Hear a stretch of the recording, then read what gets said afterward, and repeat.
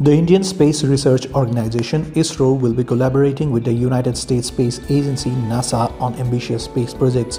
A significant result of this collaboration is the possibility of sending an Indian astronaut to the International Space Station ISS. The selection of the Indian astronaut will be made by ISRO and if all goes as planned, the Indian astronaut will be trained and ready for launch by the end of 2024. The duration of the Indian astronaut's stay on the ISS will depend on the scientific objectives and experiments chosen by ISRO. Typically, astronauts remain on the ISS for about six months, although some have stayed longer.